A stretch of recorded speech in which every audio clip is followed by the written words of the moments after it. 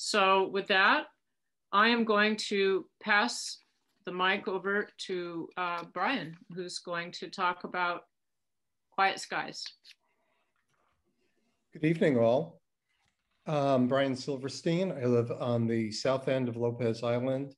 Uh, I've been involved with the Quiet Skies uh, organization for um, five or six years and uh, also from the startup of the Sound Defense Alliance. I might mention that this actually was a very noisy day on the south end of Lopez Island uh, and also yesterday evening. It was um, pretty noisy here. So I'm gonna give you a little history. Many of you are probably familiar with Quiet Skies, but I wanna share it again because it, it, it basically explains why our organization exists.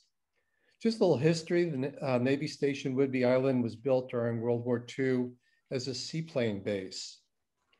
In the 1970s, the new Prowler jet was deployed to Whidbey and other bases. As bases closed in, 19, in the 1990s, more of the Prowlers moved to NASWI or uh, Whidbey Island. At this point, the loud Prowlers regularly flew over the south end of Lopez and San Juan Island disrupting our pristine rural community. The turning point was a meeting with the base commander, who said at the end of the meeting, Why don't you just move? There were two outcomes. He was relieved from his command, and Lopez started to organize. Excuse me just for a moment here, letting in a few more people. Fast forward to 2012 in the news that the Navy was deploying the Growler, the loudest jet in the fleet, to Whidbey Island. The community and our county council responded, reaching out to federal and state elected officials. The Navy went through a series of environmental analyses, all deficient in our view. In 2014, or until 2014, the Navy's position was that San Juan County was not impacted and meetings were never hold, held on San Juan County. Lopezians got serious. We connected with the citizens of Ebey's Reserve, or COER. We asked the San Juan County Commission to collect jet noise reports and make the data available to anyone who wanted it. There are now more than 15,000 reports re recorded, and Christine will talk more about that. And we asked for the first Navy public meeting on Lopez. In 2016, the Navy proposed adding 36 more growlers and restarted their environmental impact statement. Now we're we were really prepared. We formed Quiet Skies over San Juan County. We created a website and a Facebook, Facebook page. We had a booth at the farmer's market. We were well prepared with community meetings and research by local experts. The meetings at the Lopez Center was packed. Afterwards, we all held postcard writing events. Quiet Skies had a float in the 4th of July parade and pro protests on Lopez and Coupeville. Stanley Greenthal wrote and recorded a song, A Sacrificial Zone. It's on our website. In 2019, we were deeply disappointed, but not surprised when the Navy announced that 36 additional growlers would be added, which by the way, they were already purchased before the decision was made. There are lawsuits by the state and COER over the deficiencies and errors in the environmental impact statement. And the additional jets brought growlers further north into San Juan County, including East Sound on Orcas Island. So what is Quiet Skies doing now? We are an informal group, no officers, not a 501c3. We occasionally ask for donations for printing and mailing. We help form the Sound, Sound Defense Alliance. We're keeping our community informed through a newsletter, website, and Facebook, and we encourage people to contact our elected officials. We can't meet face to face now, but through technology, we will stay connected. It's important that all impacted islands participate. So, what do we want? We want the Navy to mitigate the noise by technology, changing flight paths, and moving some or more of the, the growlers away. It's no longer uh, in the longer term, we want the Navy to disperse growlers among other locations. And later in the meeting, Susan will give you some suggestions. So with that, I'm going to turn it over to uh, Anne.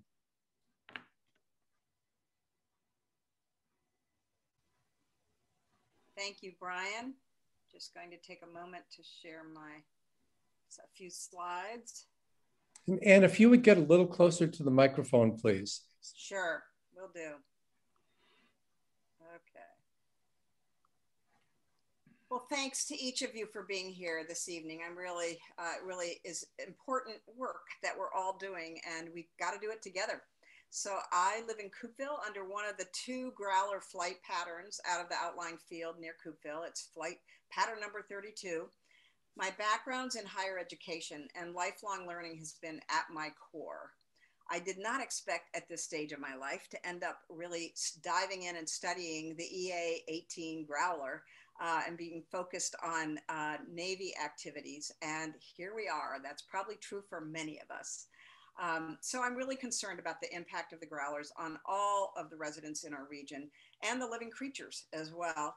Uh, I'm particularly concerned about children. I'm, I am involved with the Coupeville Farm to School program in my community, and kids are outside working with their hands in the soil, and having growlers fly overhead is not healthy for anyone, particularly children. As you all may know, the Sound Defense Alliance is focused on protecting communities and the national and the uh, natural environment from harmful military activity around the Salish Sea, Puget Sound, and the Olympic Peninsula. You also may know that we're a coalition of groups, as Brian mentioned, uh, that includes um, uh, five groups at this point and individuals that have come together to restore the balance between community and military priorities across our region. Uh, we have, have had really strong, exciting work happening for a while, as Brian mentioned, through Quiet Skies, through the San Juan Islands. Camano Island has been organizing. Whidbey has been organized for a while. And we're now really excited that there's a lot happening on the peninsula. In Jefferson County, uh, there are, there's a group in, in, Port Townsend that formed last fall. And there's some folks in Forks that are now uh, basically reconstituting a group in that part of the uh, peninsula. Uh, we also are excited that there are people in Seattle who are hikers and go to the Olympic Peninsula and are really distressed when they hear growlers flying above. So they too are interested in helping us to organize in Seattle. Um, so uh, you all are familiar with the impacts because you live with them. And they, as we all know, include deafening noise, the impact on, of toxins in our air and our land and water, uh, there are economic and housing impacts uh, on Whidbey Island and surrounding communities. There's harm to the marine, air, and land species. Of course, our um, uh, beloved orcas, threatened and endangered species in particular. The mental and physical impacts are really well documented. There's been plenty of research that shows uh, what, um, what happens when people are exposed to extreme noise. Some of the most recent studies correlate environmental noise with heart related problems like stroke and heart attacks. Uh, the intermittent high volume and high frequency reality of growler noise causes stress. It impacts children's learning and it can trigger PTSD in people who are trying to recover from trauma. Oh, I missed that goal. So the long-term goals for the Sound Defense Alliance are is focused on restoring the balance. We want to move the growlers, all of them, to a less harmful place. And um, that, that does not mean closing the base. The base should remain open. Our accomplishments include working with federal elected officials to achieve inclusion of real-time noise monitoring in the annual National Defense Authorization Act. This has been really important to our federal elected officials. And so in 2020, for, for the 2020 NDAA and the 2021 NDAA, this inclusion of real-time noise monitoring by the Navy um, and real-time noise monitoring means it's not average sound and it's not um, modeled. This is setting up monitors and measuring the measuring the noise. Um, so that our elected officials um, are really interested. They really care about this uh, most current information. We know there have been other um, sound studies done done uh, by national parks, um, done by other community groups, and it's like, okay, we'll do this again because this is really, you know, we will support the Navy collecting this data because this is important to our elected officials. We need to do this. Meanwhile, Sound Defense Alliance also has a noise monitoring project, so we've been collecting data around the region as well. Um, we've developed strong working relationships with federal, uh, state, and local elected officials. And I'll come back to talking a little more about local elected officials in a bit. We've built a really strong brand as, as recognized opposition um, in, in response to the expansion of the growlers in our area. And we've engaged activists like you all from across the region to get thousands of calls and emails and postcards to our elected officials. And this will continue through this year. We're in a really new chapter. So we have all kinds of really new of new opportunities. We have a new White House, new White House administration. There will be new Navy leadership, not only at the Naval Air Station Whidbey Island, as Captain Arny is moving on, but also with a new Secretary of the Navy, Deputy Secretary of the Navy, Assistant Deputy of the, all of the Navy brass will be new. Um, and we do have folks like Senator Cantwell who care about asking questions like, do you know about this, this problem? Do you care about this problem? What are you going to do about this problem? So uh, we are in a new chapter in terms of um, hopefully screening for some folks who do care about the problem and want to work with us on it. Um, so we've developed really good relationships with federal elected officials and their staff. Um, specifically, in the last um, two months, we have met with the staff from uh, the, Rick Larsen's office, Adam Smith's office, Maria Cantwell's office, Pramila Jayapal, and Derek Kilmer. And there are more that we will continue to meet with over the next um, uh, month uh, as we uh, run our roadmap by them. And I'll get back, to, I will speak more to that a little later in our program. Um, we have a more powerful Washington state delegation. These folks all are much more powerful on a lot of levels. And finally, we have national partnership opportunities. Part of that has to do with the reality that the F-35s are, be, are being spread to new communities across our country. So not only are they in Burlington, Vermont, they're also going to be in um, Wisconsin and in Alabama. Uh, and there are national groups like Quiet Communities that are that happen to be focused more on commercial jets, but they focus on noise, and we're working on collaborating with them. They are a national group, and they have the ear of elected officials um, in DC as well. So our voices are being heard, and we're at the table. Um, our goals for 2021 to 2023 include implementation of the roadmap, which is our plan to relocate the growlers. Again, I'll come back to that in a, in a while. Um, building political power by continuing to expand um, our support, support of Sound Defense Alliance among all of our lo- elected officials, promoting legislative action by working with our delegation on real time noise monitoring, health impact studies, and the relocation of growler activity. Um, I just want to say a note here about working with our delegation on the real time noise monitoring. The Navy has um, said that they will they, they've made it pretty clear that they basically want to use this data to uh, essentially reinforce the data that they've collected through modeling and averaging. So it's important to our elected officials that we collect that the collect data that they collect is done genuinely and that it is that they're held accountable and there's transparency. Um, we're having some problems with that. Again, I'll come back to that. So continuing to build. So part of our role is to hold their feet to the fire in terms of transparency and accountability. And so continuing to build a strong, vital, and really financially sound organization through our base building, our board development, fundraising, and staffing. We do have a lot going on, as Susan mentioned. So May 26th, here we are. Uh, Jefferson County, June 15th, we'll be gathering with folks from uh, Jefferson County. Whidbey Island is on July 7th. Uh, that's a tentative date. Um, Island is set for the 27th of July. Um, Forks may be in there in early August. We're working on that. And um, we are hoping, we're planning to hold a regional community meeting. The question is, do we do this by Zoom? Do we do this face to face or part or some part face to face, some whatever? Anyway, we're figuring that out. And that will be probably late August, possibly early September. Our goal would be to have one of our federal elected officials speak at that event. So stay tuned uh, our grassroots plan is to build a strong and diverse regional power base to partner with Washington officials and other organizations like the National Parks Conservation Association, community leaders, public health advocates, and the business communities around our region, and work our congressional staff and elected officials. So there are lots of ways to act, um, and these include connecting with your local elected officials, encouraging them to, to get join with us uh, to do outreach and build support in, in this in your communities. So um, continuing to invite people to join the Sound Defense Alliance. Fundraising activities and events, just to note that we have uh, just started today our spring fundraiser um, and media outreach as well as outreach in Seattle. These are all ways that you can get involved and I will be touching back on this uh, later in our program. So thanks.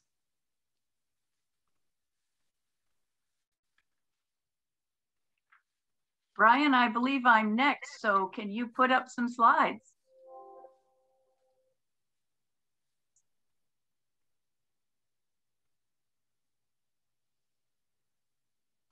While Brian's doing that, my name's Christine Curlin. I am the person who uh, collects the data and produces reports. So Anne, I'd like you to mute, please. Thank you. Okay. Um, what you're looking at in this first slide is perhaps something you're familiar with. This is the front page of the Quiet Skies website. Um, we put many things in our in our website, but what I'm pointing out today is that there is a tab at the top of the website called Report Jet Noise. And when you hit that, it pulls down the how to report jet noise and the jet noise summaries. So I wanted to point that to you first. Next slide, Brian.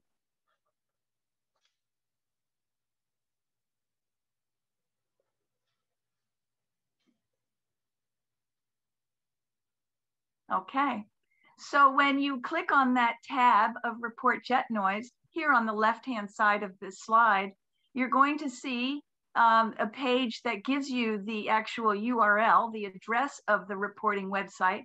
Um, the note on this is that San Juan County um, council approved this website a number of years ago, and then about two years ago expanded the use of it to all of the region. On this page that you see on the left-hand side, we also include some hints on how to deal with the um, noise reporting. On the right-hand side of this slide is a representation of the uh, San Juan County reporting website. And I've got some arrows there that I'd like to point you to. The first one is the time. Now you're wondering, why am I going through this? I look at all of the data on a bi-monthly basis and I try to collate it. And I'm going to offer you some hints that frankly will make my job a little easier. One is the time. The time will automatically go to a time when you are right on the computer. If you're reporting a noise event that occurred at a different time, you can click on that and it'll drop down and you can, can put in the correct time of the noise event that you are reporting. And then as you see, you get to choose the type of aircraft and the loudness. Then you get to the map. I have found that some of you are confused about how to use the map to report the location of the noise event. Um, I'm pointing on the left-hand arrow there to a little icon where it will automatically go to your location. So if you hit that little icon there, it'll automatically move to your location. But what if your location is not where you heard the noise event? I see some reports where people say, I'm at the ferry and uh, I'm getting a lot of noise, but I bet you that they're maybe reporting that at home. So what you can do is toggle on the map. And when you click on a place, it will automatically identify that as the location. Moving down further on that website, comments. Your comments are great, and the more detailed and descriptive you can be is helpful. It's particularly helpful to know uh, when you heard it, what you heard, and where you heard it, particularly where you heard it. That is so helpful. So that's a quick guideline to when you get to that website, the noise reporting website that you can hit on some of those pieces of information. I find it can take uh, as little as 20 seconds to make a report and sometimes about a minute if you're pondering what kind of comments you want to make. Brian, can you go to the next slide? So what does this add up to? As I pointed out, the jet noise summaries are on our website. We send them out every two months We send these reports to elected officials and to other folks who are interested in receiving them. Though, as I said, you can go to the website and see them. This page shows you some samples of what's in our reports. For example, one of the top middle uh, uh, chart shows you that actually we've been really recording a lot of reports now over the years. It's really jumped up. Why has it jumped up? It's jumped up because we expanded the reporting from just San Juan County to the region. And the region has contributed a lot of noise reports. To the right of that, you're seeing a map that's called a heat map. This is new, and I thank Sarah Blake, who's been doing this. The heat map shows, and I'm sorry it's reduced, re reproduced so tiny away on your screen, but the heat map shows where the noise is, is more and more uh, reported. Down below it is what I call the dot map. The dot shows the actual reports for the past almost two years. And it's important to know that dots overlay other dots. Some, some locations, they just keep reporting and there's dot over dot over dot. But you can see the intensity of those dots and where we're getting the reports from. On the left-hand side is just a sample of some of the charts that we do. Uh, this happens to be a chart that shows the breakdown of the noise um, by whether you're in San Juan County or out of San Juan County. Then on the very right is just a sample of what I do include in the report, which is all of the comments. I see that there's a question and I will answer that when we get to the questions. Um, so uh, let me hold on that. Uh, in sum, what I've tried to show you is how you can get to the reporting site, what the reporting site looks like, and what we gather the data into and then report out in. Um, I um, thank you all for your reporting, and um, I hope that our reports are making a difference. Thank you. Thank you, Christine. And now we're going to have Anne talk a little bit more about the roadmap.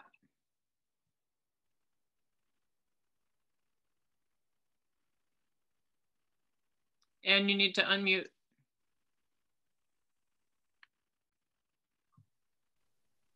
Thanks, Susan, and thank you, Christine. I just want to acknowledge all the work that you do. And I read those reports when you send them out, and they are really uh, powerful. Um, it really uh, reminds me of the range of impacts um, when people are trying to work and they can't work. Um, they're worried about losing um, a, a, client because of the jet noise and uh, children can't sleep and certain experiences that may not be in my immediate world, but it's a really uh, important collection of data and comments. So thanks, Christine and to Sarah Blake too.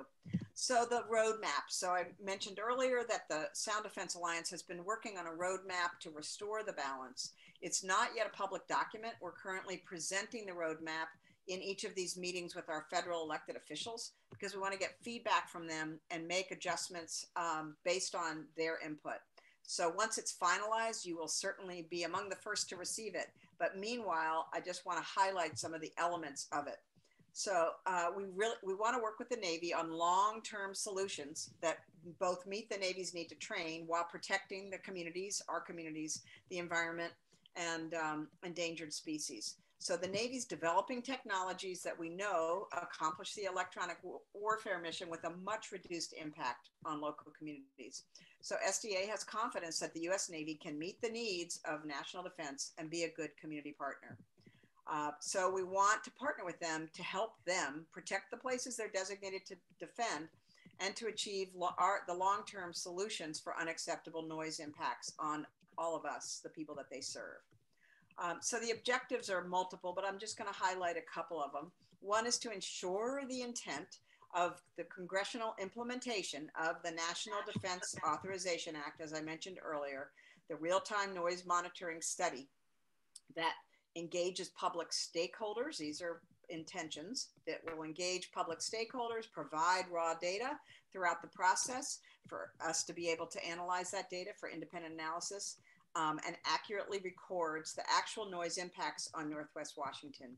So one of our concerns is that the Navy has said that they plan to release the data at the same time that they release the report. So this is a piece that we are working on with our elected officials right now, asking them to work with the Navy to ensure that we have access to that data in advance of any final report so that um, it is indeed um, true to what our uh, congressional delegation wants. Um, we also, another objective is to preserve three national treasures. Um, the Olympic National Park, Ebey's Landing National Historical Reserve, and the San Juan Islands National Monument. And a third, one I want, third objective I want to mention is to restore the balance between military and community needs, just keep saying this over and over in terms of the balance in Northwest Washington and improve the military civilian partnership. Um, so we know that the Navy is continuing to develop um, innovative technology. So we really want to support that movement in that direction, not just uh, because they're less costly, but they're also more climate friendly, things like drones. Um, and so that is certainly a part of what we are supporting in terms of the directions the Navy may go. Um, and uh, so, that, so we have a five-step plan that ends with reciting the entire um, uh, EA-18 Growler mission, ensuring that they are all of those growlers are located in other uh, locations. Um, so I'm sure there may be questions, and I, that's enough for now. So we'll see um, if uh, if you have questions about that, we can address them later. Thanks. Thank you, Anne. Thank you, everybody. Um, so now it's time to hear from you. And I want to just uh, re-emphasize our guidelines, which is to listen to each other with good intent and participate with respect and participate at a level that works for you. And I want to also add that if you find that you have a question tomorrow or the next day or later on, you can most definitely email through the Quiet Skies website. And I'm not sure if Brian, Anne, or Christine are going to have their email up in the chat or not, but definitely you can get uh, a response through Quiet Skies or Sound Defense Alliance. I would encourage people to send their comments or, excuse me,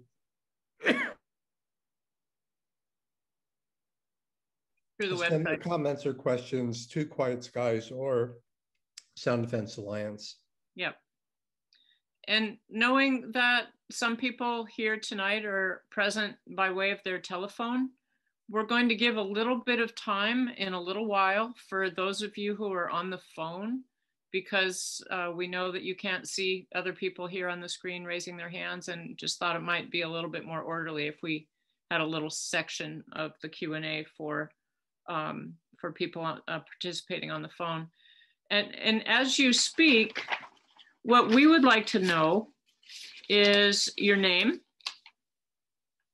where do you live, what island, what part of the island? Is really important, how are you impacted by the growlers, what do you feel would be a good solution, what would you like our organizations to be doing, and then if you have a, part, uh, a question aimed at a particular speaker, please identify that speaker too. And we'll just um, let it go, unmute yourself as you. So I think we, our, our plan was to first go through questions that are put in the chat because mm -hmm. it allows us to um, combine ones that are together. And then once we get through that, and I would encourage people to do that, we already have a few. One mm-hmm. actually started about two minutes after the start of the meeting, so probably be a good place to start on that, which was um, what things are you working about to mitigate the noise impacts on the community? And Anne addressed some of that. I'd like to add a few other items as well, things that have been discussed for years. One of the things that we experienced in the last 24 hours is the engine run-ups the rumbling sound that we hear typically on the south end of Lopez Island and San Juan Island, um, which you just absolutely uh, not. Um, here we are 12 miles away from Ault Field where the engines are taking off from, and they're vibrating houses here on Lopez Island. There is technology called hush houses to de deflect the um, noise upward rather than out. And the Navy has talked about that probably for five years at least, and they have not spent a penny on that. So that's something that they can do at relatively low cost, has no impact on um, the mission, and could help our communities that are impacted um, by that. Another is um, for the jets to fly at appropriate elevations as they come over the islands. Understand when they take off and they land, they need to be certain elevations so they can safely land and take off. But there's no reason for jets to cross um, Lopez Island uh, under a thousand feet. And supposedly that's not outside in their plan. So there are things that could be done at no cost and immediately to mitigate that that has not happened.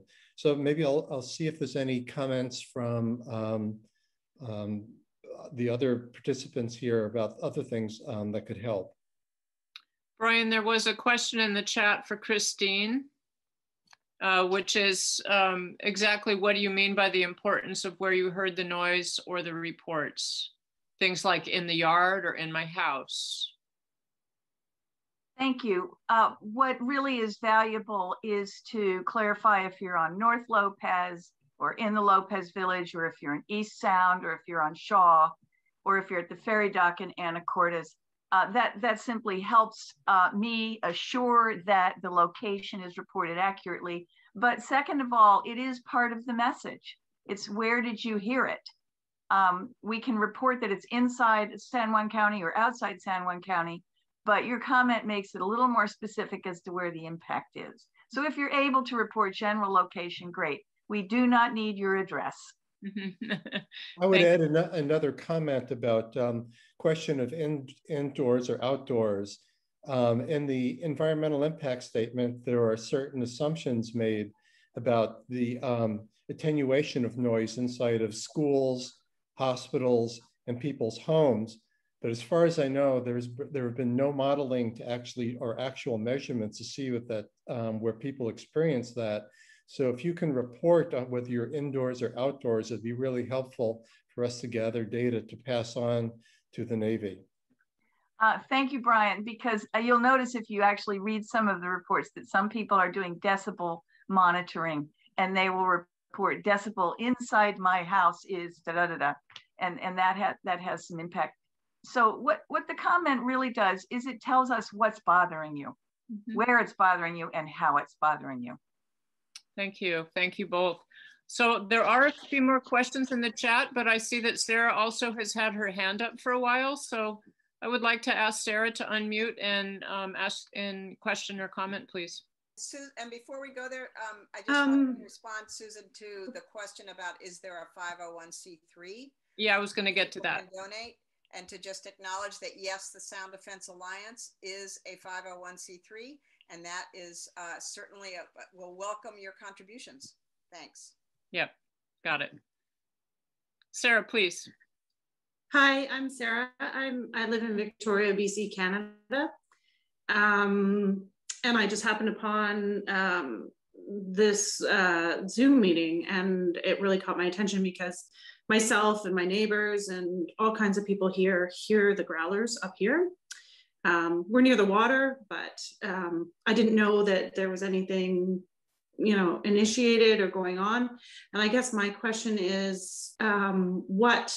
I mean, what as a Canadian, do you know if there's anything we can do besides using your website to report the noise?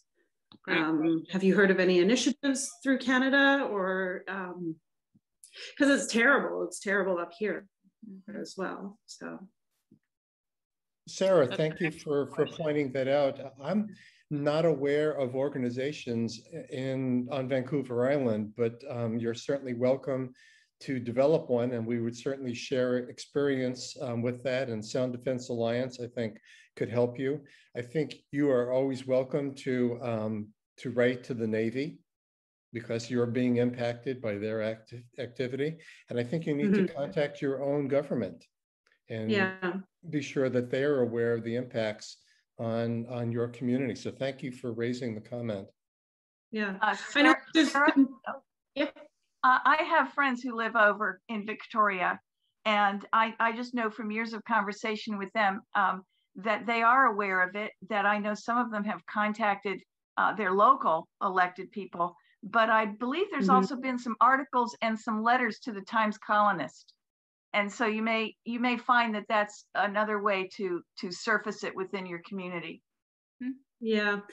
Yeah, I've seen those stuff in the Times Colonist. I, I don't think they they affect the US government very much. It's just a local newspaper and it doesn't do much. So we feel a little helpless up here. Um, you know, not being citizens of the US, we don't uh, you know, our voices aren't really heard. And and yet we're very affected by these. Um, it, it it's different, it's pockets uh, some people don't hear it in certain areas, but uh, other people hear it all the time. And, you know, obviously, you know, it's, it, it goes on for days, all day and stuff. So yeah, just happy to, happy to, I didn't know your website existed. I will sort of spread it around and hopefully you'll get some more reports from up here. Thank you so much. So, Anne has you. a comment on that too. Thanks, Susan. Yeah, Sarah, so I just want to say that we'd be happy to work with you to start a group um, in in Van, in Victoria, and uh, I will send you my email address, and we will and just feel free to contact me directly, and we'll work on um, starting a group if that because I think that's one of the ways to um, really begin to make a difference. So I'll, I'll Great, I'll yeah. email Thank you. Thank you. That's excellent. We Thank have a you. question from Jen. I'm going to read it. I am intimidated by calling the Navy report line. It feels like it just pinpoints me and the aggression I have seen is challenging. Example, laughing and other comments by those in Navy uniform on the Facebook pages that should be safe. So that's a comment that I'm sure is shared by many. Any response? Uh. Jen, Jen, one of the reasons we encourage the reporting on, on our website is because what when you do call the Navy report line, it, it can be a good way to let off some steam, but it's not transparent. We have we have no information about um, what they do with that, uh, with the phone calling, and where it goes and what difference it makes. Uh, at the very least, our reporting is solid data. Mm-hmm. That's great. That's really important to getting your voice out there. And we have a question from Dawn. Has the holding pattern changed in recent months with the great number of growlers? Seems like we're hearing more noise in Olga and Orcas generally. Well, Susan, I suggest, uh, suggest that you um, offer what your experience has been over the last two years since the additional growlers are added. Yeah, absolutely. It's uh, you saw the dot map. Orcas, I think the dot map a couple of years ago would have been you would have seen some empty spaces on Orcas a few years ago. Um, I there's a wonderful slide that maybe one of you can bring up on the flight pattern around Orcas, what it's supposed to be, and um, as you pointed out, Dawn, they also the growler pilots deviate from the flight pattern um, what you're hearing is the incredible increase in growlers and the lack of uh, being the lack of compliancy with what they agreed to do in the first place. Um, the other team members have more data on that in terms of percentage of uh, gr growlers added over what was approved, etc. But most definitely, Orcas has become much much louder, and um, I, I know when I hike an obstruction pass or visit friends in Olga, or even go to the top of Mount Constitution, it's mm-hmm. it's endless some mm-hmm. days. So I'm wondering, Brian, do you happen to have that slide? Actually, I don't. I'm sorry. I don't. I, I would have to do some digging to find it. Okay. Well, If I, if I, if get have it. I have it. It, it. it would just take a moment or two. Maybe I'll bring it up in a in a in a pause a little bit later. And and if you don't have time, um, then uh, you all can forward that slide to me, and I'll get it on our Quiet Skies website. Okay, great. Okay, Susan, you're a co-host, so you can pop it up if you find it. Okay, okay. Brian, can you continue with the question in the chat then Sure. while I bring this up? So uh, one question, uh, actually, hold on just a second. Let me- Just lost view of the chat. How do we know what kind of airplane we are hearing? So that's a, a great question. Um, sometimes you can look up in the sky and see, but I think after living here for a long time, you'll understand uh, or be aware of the difference between um, the military aircraft and commercial aircraft, which do not fly over here very often, or the smaller ones. I remember at a um, meeting with the Navy base on Lopez Island one time, uh, someone from the base said, Well, how do you know they're ours? And the response from one of our council members was, If it's not yours, we have a much bigger problem. Um, I generally tell by the persistence of the noise. And, and sometimes when I don't know, I write, I don't know, but I generally make the comment, I don't know what it is, but it is not a commercial flight. Mhm, mhm. The Right. growlers move my guts. The other jets are ones that I grew up with. That's how I know the difference. Comment here about uh, our letters to elected officials are going unanswered, even when we ask for a response. Should we continue writing? Are our efforts working? Do they matter? So answering the last part, I'd say in general, yes, because we would not have gotten the language added to the Defense uh, Appropriation Act in the last two years if um, our elected officials were not um, uh, responding to us. So it does matter. If your particular um, directive, uh, excuse me, elected official is not responsive, I think you need to have a conversation. You know, in addition to writing letters, you might make phone calls when they have a um, a public meeting. I think you need to address that directly to them and tell them that you're um, frustrated um, with their uh, how they're representing you. And uh, but I, I encourage you to to to raise your voice and let your elected officials know that this is an important issue for you and your community. Mhm. And, and I'll say, I can add to that, that um, when I have written, I've also gone on each individual's website and submitted my letters electronically. And I have gotten responses that way. Um, as you can imagine, other people and other staff people open the mail and uh, with COVID, especially this last year, it's been really hard to uh, feel like we're being heard about the growlers, but um, just keep on pushing. Keep on pushing. I want to echo that, uh, Susan and Brian, just to acknowledge that, um, th- just to, to the messages that we encourage people to um, put forth are your stories, the impact on you, what are you experiencing, um, what kind of damage and harm is um, part of your life, and uh, what do you want? You want to relocate the growlers. So, really putting forth those messages um, about the impact and uh, what you want and that you want you know this particular elected official to join with you to ensure that these are these uh, growlers are relocated. So they and i would echo that yes it's so important to keep on keeping on. And um, you know i think uh, there are people like patty, patty murray is is notorious for not responding to this issue. She will not respond to this issue. Um, everyone else tip, pretty typically over time will respond. Rick Larsen has definitely turned a corner he was not someone we could count on. He has definitely changed his tune, and he got very involved with the National Defense Authorization Act, um, both both years, but particularly last year, last winter, 2020, um, for the National Defense Authorization Act for this year, for 21, and took a stand that surprised us. He was actually got engaged. He's not where we'd like him to be, but he's moved, and I just think that's important, and that's because of you all. It's really directly connected to, um, and it's connected to the work that we're all doing. And please remind them that they are receiving th- those data reports so you can turn their mind back to the data reports that they have gotten every two months.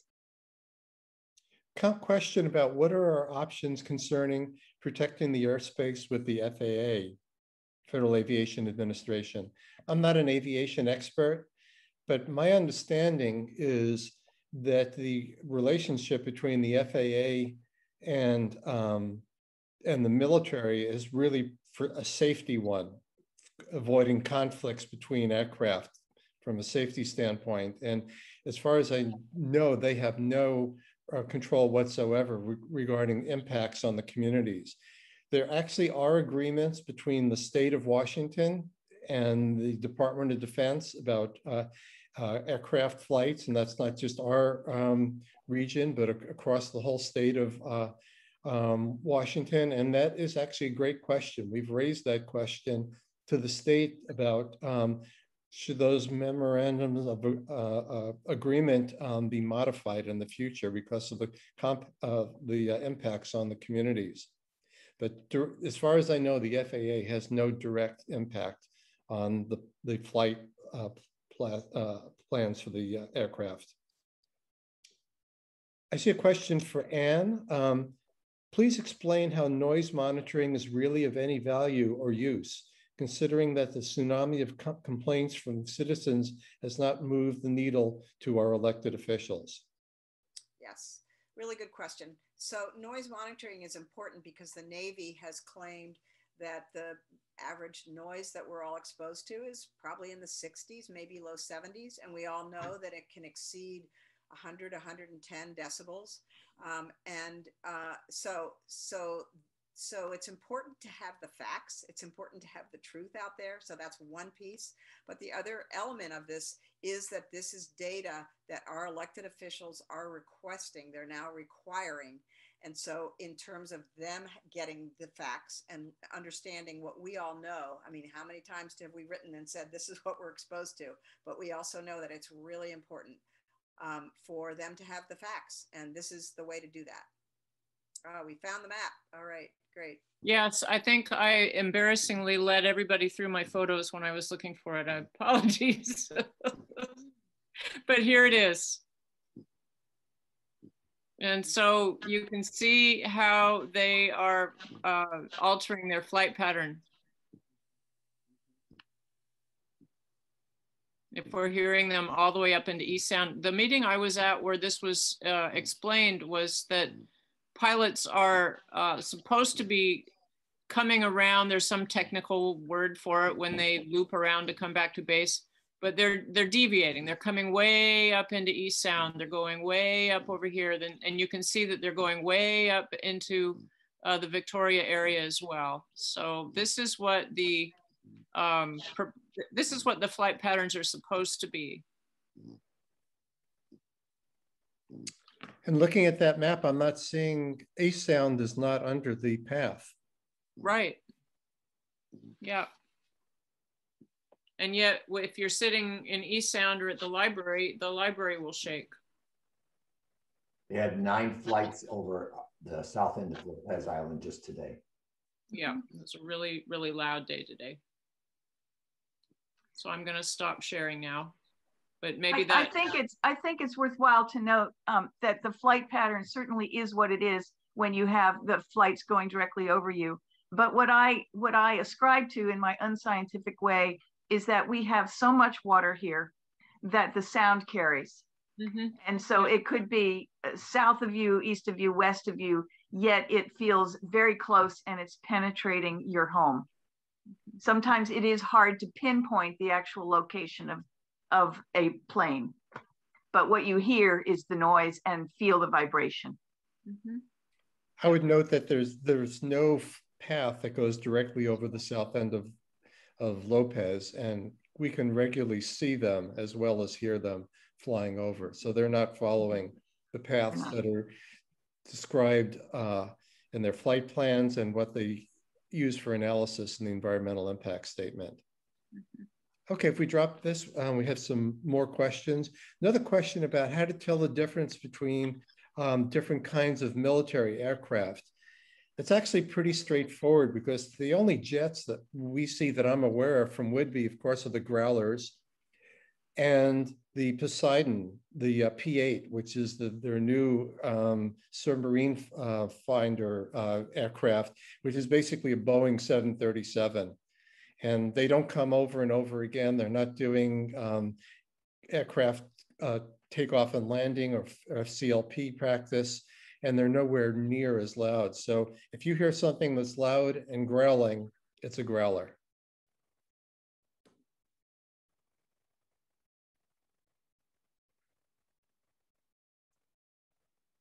So there is a lot, a lot more in the chat. I want to do a um, give just pause for a moment and see if anybody who is joining by phone would like to ask a question or comment.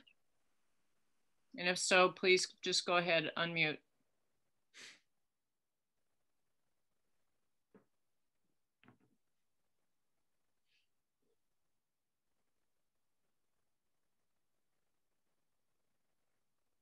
Maybe not.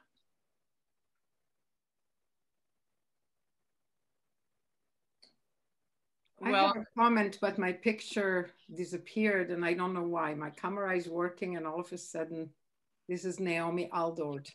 Okay, So go I'm ahead, sorry. Naomi. I don't know what happened. I made myself invisible and then visible and the camera is on, but I don't know. It's not there. So I wanted to um, to ask more about the relocation idea because it seems to me like the only solution. Uh, considering that we also have air pollution, not just noise pollution. Uh, my background is I lived on Lopez and escaped because of the noise to the north part of Orcas, where I still hear it. I just took a walk. I really needed a walk and rushed back home because of the constant rumble. And it's often, you know, they don't have to fly above East Sound to have the rumble here. I think even when they're on the ground, just running the engines, um, it's you know if you if you have a an open line toward them wherever you are you'd hear it you hear it on beaches you try to have a hike you plan a hike with a friend a month in advance you finally hike and go to some beautiful beach and you have to leave because it's unbearable but that's just about the noise i think we have a big pollution problem because the, the amount of pollution these planes are you know it's like just because we're disturbed only by the noise I think we should not ignore the fact that we're trying to live here with ocean air, clean air, and of course there is the whales and there is all the habitat and all kinds of stuff. And uh, the pollution from airplanes is one of the greatest that we can have. And we don't have as clean air as we could living in a place um, this remote. Um, and that's, that has to be addressed as well but I want to hear more about the, the relocation. Uh, what what possibilities? Because that's to me is the only answer. All the other stuff is like lip service. You know, okay, well, you know, we'll do something electronic so it's less noise. We'll we'll stay in a higher elevation. Okay, it's still polluting. It's still noise, maybe a little less. It's still wrong. Mm-hmm. And I want to say one more thing uh, before um, and you speak to that um, you know, there is, I think it's important to address that. When I called originally on Lopez, I called their line to say there's too much noise here. I was woken up by it at 2 a.m. on my second day on Lopez. Like, oh my God, you know, I moved to the quiet and this is what's happening. And they told me their, their famous line, hey, it's the sound of freedom. Mm-hmm. And I think that has to be addressed because I think their psychology is that somehow they have more justification. And what I'd like the conversation to bring up is that business is business. I don't have to agree that war is ever a solution to anything. I grew up in war. I recognize warplanes within right away. It gives me a stomach ache on the spot and nausea. And, you know, I ran from it all the way to America. And then I came to Lopez, ran to Orcas, and you know they, they think, oh, we're doing something great. But if it was a factory that pollutes the air, uh, creating sandals or creating something else wonderful, it doesn't give right to, to create noise and pollution for residential community. They have to move that operation to a desert island, not or not an island that has Naomi, uh, thank you for the comments and uh, would like um, Anne to re reply to your question about yeah, uh, moving the jets. Thank you. Okay, um, and before you do, and thank you, Brian, I'm wondering if you would like to also incorporate two of the questions here about loss of property value. Um, I think that your comment to Naomi might be able to touch on those uh, the, that as well um, just, I don't know if you're looking at the chat, Anne, but um, how can we expand the number of people on orcas who care? That's one question. And then the economic piece, it's an economic issue for homeowners who could lose resale value if there's lots of noise. Can we involve homeowners associations, et cetera? So we're moving, we're actually kind of to the later part of our meeting, but um, somebody else also brought up the uh, loss of value in um, in housing. So so please, Anne, um, go for it. Yeah, the the um, the the sound of freedom piece that you raised, Naomi is a um, powerful divide and conquer tactic. And uh, really what's really important is for us to acknowledge that um, we are we are all patriotic. patriotic. We're not going to allow that particular line to divide us. Um, that we all we all we all care about our country. And, and there's something really going on in your sound. I'm not sure what it is. Okay. Is, is there anything you can do to kind of tweak it? Yeah, let me see if there's something. That, that was that was good okay, just clicked on something. All right. so is it better? Staying better? Great. Okay. Thanks. All right. So uh, divide and conquer. We don't want to go there. We don't want to be um, uh, um, in a polarizing kind of a role. And so it's important not to buy into that, um, but to be able to acknowledge that we are all Americans and we care and we are uh, being used as collateral damage, and that is not okay. The Navy, like any other branch of our military, is unfortunately, um, at least can act in a way that they are above the law. And uh, so your point about business is, is business um, is a tricky one for them because they essentially see themselves as not ha- and and the way our laws are constructed and our government is constructed like the FAA. They are indeed not governed in any way by the FAA. Um, so there's a whole, uh, so there there is a reality to their uh, uniqueness. At the same time, we need to uh, continue to push hard to get the info. I'm just thinking about this climate change emissions piece that's in here around um, the importance of um, researching and providing information again to our elected officials and the public about the connection between emissions and climate change. Brian has, uh, we've got a number of great uh, researchers who are starting to work on some of these issues in terms of research. We've got a couple new volunteers who are diving in to some of these questions. Um, jumping back to where to relocate them and the importance of relocation, that's one of our, the, it's not our job to figure out where they're going to go. It's our job to push the navy and our elected officials to develop a plan to relocate them. So there are a number of options and places but we're not spending time on that because that's the navy's job to figure out where they're going to put them um, but are and there are options that are definitely less uh, impactful in terms of uh, both communities that would be impacted as well as sensitive environments um, the issue around, uh, I'm just looking at the question for homeowners. Um, and uh, I think that this is a great idea in terms of engaging homeowners associations, restaurants, hotels, B&Bs. Uh, it, it, certainly can affect business and it certainly is impacting some homeowners' uh, va value of their homes. So Don, um, what I would encourage you to do um, and, and I'll get to this at the very end too, is just to encourage everyone to think about what you would like to do to engage with these issues. So one would be, I'd like to work on this issue of, of uh, resale, lost resale value and want to be a part of a group that's looking into that. Um, so thanks, Don, for raising that. Yeah, and Don, also uh, as the coordinator here on Orcas, what I've noticed is that there are far more voices that want to continue to make this an issue about the sound of freedom than voices that are uh, speaking up.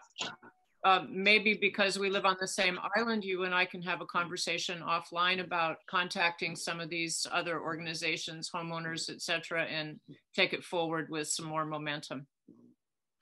Um, do I remember, Brian and Cynthia, that on Lopez, the real estate agents have, uh, during the sale issue, um, a clause about the noise? I don't remember that clearly. They do on Whidbey. I know they do on Whidbey and they do in Anacortes as uh, for sure. Lopez Island does have one. I'm not, I think maybe all but one of the, um, one of the realtors has it. And I think Friday Harbor, one of the realtors does have it. So yes, we, we put a clause in many years ago.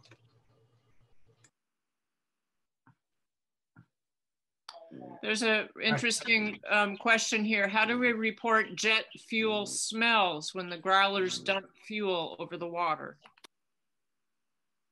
Um, I have seen that in the in the reports made uh, to the website. So I've seen some reporting on that. Does anybody else have other places that gets reported? No, it's denied by the Navy. I would say that um, it's important. I would encourage you to contact um, the Sound Defense Alliance. Uh, go onto our website and send us an or and send us an email or to our webmail address and tell us, report it to us because I think we want to continue to collect that information. So um, yeah, keep us keep us posted. Hi, um, Susan. Can I ask a question? Of course. Um, my name is Robert. My uh, my wife Tracy. We live in in Coupeville in town. Um, so you can uh, you already know the level of noise that we're being exposed to. Um, my kind of have the question I have to pose to Anne is that um, while I would I would not shed a tear to see them the growlers completely relocated. Um, I also am sympathetic to the fact that we, would we simply just be moving this catastrophe into someone else's neighborhood. Now, having said that, um, I try to keep in mind that every single citizen of the United States is, a, is afforded the protection that our military offers. But yet so few of us have to endure any, any sort of uh, impact or inconvenience or disturbance for that said protection. And I, of course, I just simply think that's not fair. Will anything be ever done about that? No. But is there an option or is it even being discussed to your to your knowledge about just simply decreasing the number of, of squadrons at Whidbey? So basically, it, it would only be fair, in my opinion, to spread them out, no, no matter what the cost. Spread them all throughout the United States if you have to. But if you have two squadrons here and two squadrons there, it would severely lessen the impact that we're all having to feel. Um, and then, you know, spread the love, so to speak. all right, thank you. Thanks, thank you. Yeah, so th so thank you, Robert, for raising that um, question. And I and you know we have, as I mentioned, we have not talked about recognize it's it's the military's job, it's the Navy's job to come up with the plan for what they're going to do whether they would find three other places and relocate in three places or two or whatever. Um, we share your concern that it's like, don't want this, don't want to wish this on anybody. Um, and would really, uh, you know, the point of relocating them is to have and to really significantly reduce the impact. Um, meanwhile, there are drones in the pipeline. We know drones are in the pipeline. Um, and we also know that Boeing has a five year um, giant fund to um, make improvements on the growler. So uh, you know we we uh, you know pushing for innovative technology um, is a big part of. I mean, reducing the overall number of these squadrons over time is a, is a really important goal. And I, am glad you raised that, Robert. Thanks. It's um, yeah, we don't have a, a magic solution or idea to put forth. And again, you know, they will be working on that. But that's that is a part of our legislators' jobs too. Susan, is this a good time for us to um, go to the summary? Well, we have one more. And then I think that we can. So this is from Jen, who had to leave, but she says when when we are able to move these jets, um, the Everett commercial site and all other aircrafts are already getting bad. Will this open the skies for more commercial flights? I'm not an expert on that, but I believe that the um, the routes that are held for the military will probably will, will remain because if as long as Whidbey Island is open, there are going to be times when jets are coming in and out, and so they will still have to separate between the military and the uh, commercial and general aviation. So I don't know that um, the uh, commercial will actually expand at all. It's a great question. Don't have a definitive answer, but it's not clear that it would ha have an impact. Thank you, Brian.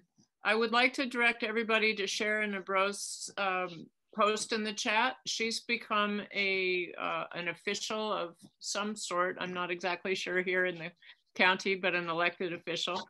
And she's got some very good um, uh, tips to add to your letters about climate change and emissions that might find a more sympathetic ear than, than noise.